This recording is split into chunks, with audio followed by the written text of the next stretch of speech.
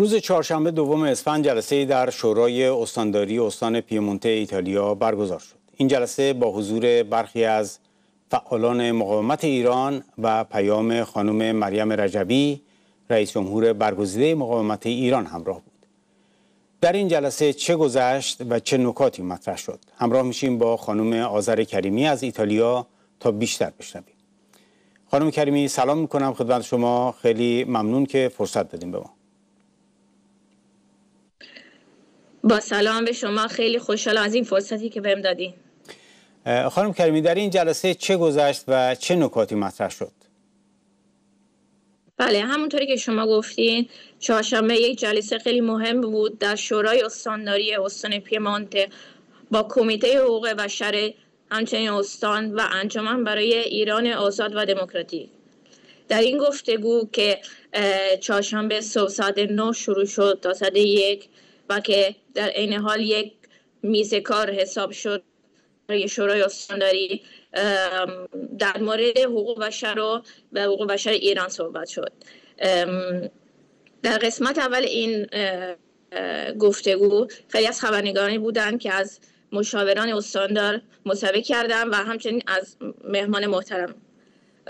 در این گفتگو که شروع شد با سلام رئیس شورای استانداری استفانو الازیا که در عین حال هم رئیس کمیته حقوق بشر هست و بعد از ایشون خانوم سارا زنبایا مشاور استانداریه که همچنین مشاور حزب لگانارت هست و بعد از ایشون جامپیرو لئو صحبت کرد که معاون رئیس کمیته حقوق بشر این استان پیمونته هست.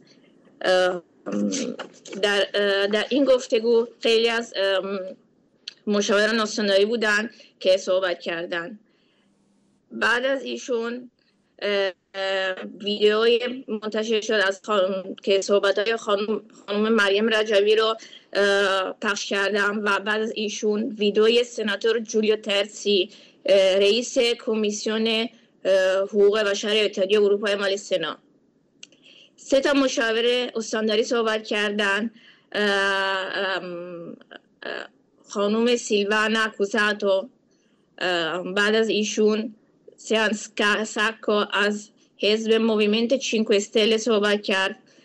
و بعد از ایشون مشاور کارلو ریوا ورچلاتی از حزب Fratelli d'Italia برادران ایتالیا. و بعد از ایشون آقای تولیمونتی رئیس کمیته ایران آزاد و دموکراتیک صحبت کرد و آقای پروفسور والتر کورادوتسو از پروفسور دانشگاه تورینو و بعد از ایشون آقای محمود اکرمیان و به آخر یوسف لزانی.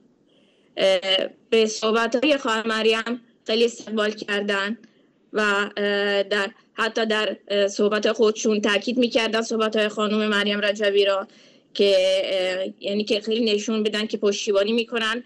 از جنگ از این جنگ بزرگی که داره ادامه میده در راه آزادی مردم ایران. در قسمت دوم از برنامه مهمانان رو چهار تا نکته تاکید کردن که یکی از اینا مهمترینش که دنیا بالاخره متوجه شده از خطر جانی, جانی که این رژیم هست. و چقدر برای خودش بلکه برای مردم ایران و بلکه برای تمام جهان. و که از این فرصت استفاده می‌کنه که به گروه های تروریستی کمک, کمک کنه که در اطراف منطقه جنگ و ترس جذب کنه. و که تاکید کردن مخصوصا به که خود مقاومت ایران که همیشه از همون اول تاکید کرده بود که این رژیم یه رژیم خونخواره و و که خیلی که خطر جانیه. و که از و که با کمک خانم مریم رجوی که رئیس شورای ملی مقاومت هست همیشه از همون اول تمام دنیا رو در مورد چنین خطر صحبت کرده بود. و که سر مار در ایران هست که و که برای آزادی و یک آرامش در منطقه باید این رژیم را سرنگون کنیم. یکی از نکته مهم دیگه که صحبت کردن نقض حقوق بشر در ایران هست و که ایران مردم ایران احتیاج داره که ببخشید این رژیم احتیاج داره که مردم ایران رو سرنگون کنه که هرچی بیشتر در, در توی به پا بمونه.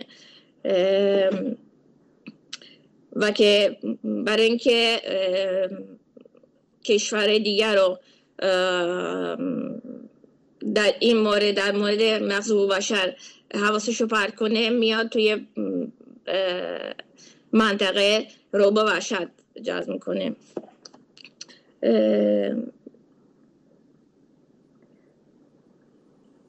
و که متوجه شدن بالاخره که این مماشات دیگه فایده نداره و باید این رژیم را سرنگون کنه.